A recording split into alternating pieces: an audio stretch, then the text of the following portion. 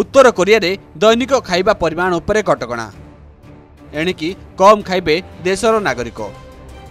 ଦୁଇହଜାର ପଚିଶ ଯାଏଁ ଲାଗି ରହିବ ଏହି ନିୟମ। ଦେଶରୁ ଖାଦ୍ୟ ସଙ୍କଟ ଦୂର ପାଇଁ ରାଷ୍ଟ୍ରପତି କିମ୍ ଜଙ୍ଗ ଉନ୍ଙ୍କ ନିର୍ଦ୍ଦେଶ।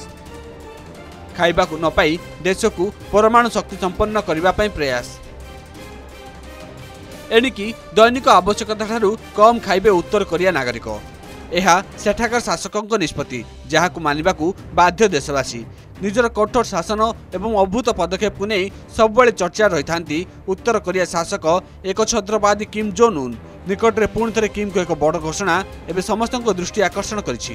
ତାହା ହେଲା ଦେଶରେ ସୃଷ୍ଟି ହୋଇଥିବା ଖାଦ୍ୟ ସଙ୍କଟକୁ ଟାଳିବା ପାଇଁ ତାଙ୍କର ନିଷ୍ପତ୍ତି। ଏଭଳି ସ୍ଥିତିରେ ଦେଶବାସୀଙ୍କୁ ଦୁଇ ହଜାର ପଚିଶ ପର୍ଯ୍ୟନ୍ତ କମ୍ ଖାଇବାକୁ କହିଛନ୍ତି କିମ୍। ବହୁ ପୂର୍ବରୁ ଉତ୍ତର କୋରିଆରେ ଖାଦ୍ୟ ଅଭାବ ଏକ ବିରାଟ ସମସ୍ୟା ରହିଆସିଛି। ଆବଶ୍ୟକ ପରିମାଣର ଖାଦ୍ୟ ବିତରଣ ହୋଇପାରୁନଥିବାରୁ ଲୋକଙ୍କ ମଧ୍ୟରେ ଖାଦ୍ୟ ପହଞ୍ଚି ପାରୁନି। ଯେଉଁଥିପାଇଁ ଉତ୍ତର କୋରିଆର ଖାଦ୍ୟ ବଜାରରେ ନିଆଁ ଲାଗିଛି।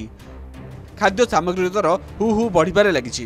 ମହାମାରୀ ଏବଂ ଗତ ବର୍ଷର ପ୍ରାକୃତିକ ବିପର୍ଯ୍ୟୟ ପରଠାରୁ ସେଠାରେ ଅଧିକ ଉତ୍କଟ ହୋଇଛି ଖାଦ୍ୟ ସମସ୍ୟା।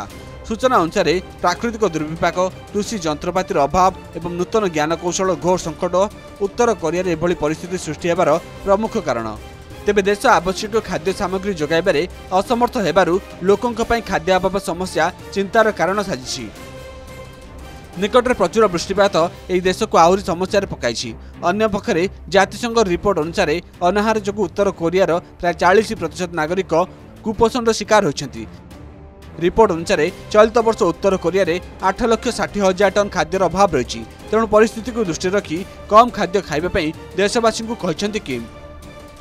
ସେ ଆହୁରି ମଧ୍ୟ କହିଛନ୍ତି ଯେ ଦୁଇ ହଜାର ପଚିଶ ପର୍ଯ୍ୟନ୍ତ ଦେଶରେ ଏପରି ଖାଦ୍ୟ ସଙ୍କଟ ଦେଖାଦେବ। ତେଣୁ ଦେଶରେ ଯିଏ ବଞ୍ଚିବାକୁ ଅଛି ତାକୁ କମ୍ ଖାଇବାକୁ ପଡ଼ିବ। ଦେଶରେ ଗତ କିଛି ଦିନ ହେଲା ଏପରି ଖାଦ୍ୟ ସଙ୍କଟ ଦେଖାଦେଇଛି।